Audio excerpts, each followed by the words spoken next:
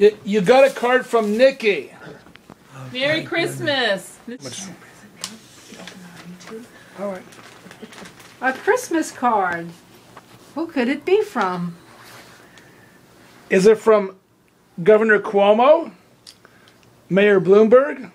No, it's from a good friend. John Gotti? You're not my friend. You know I can't read this? You want your reading glasses? No. It- It's a membership to the tennis club.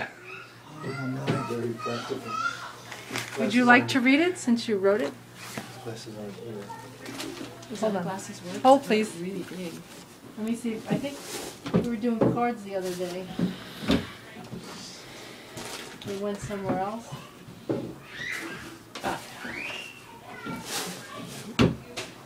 Let's this works. I have Augustus. Wait, you have to cut this part out. this is kind of cute though.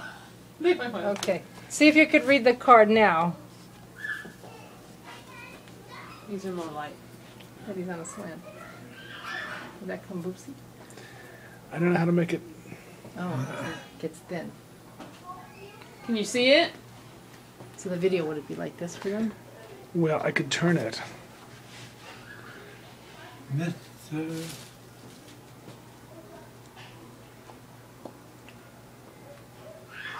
What's your name?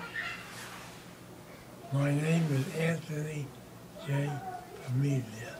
That's a strange Christmas card. So maybe it says Mr.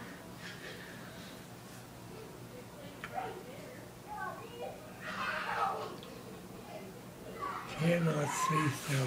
You want me to read it to him? Yeah, definitely. You want me to read it to you? Yes.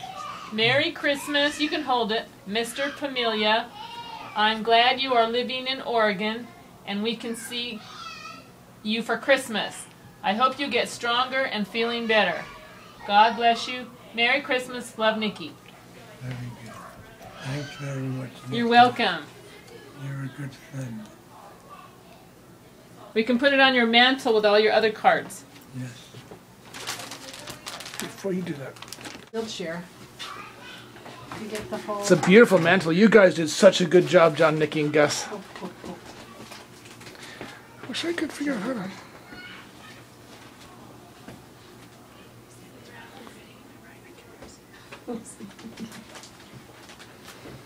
And then the- The keyboard? Cool.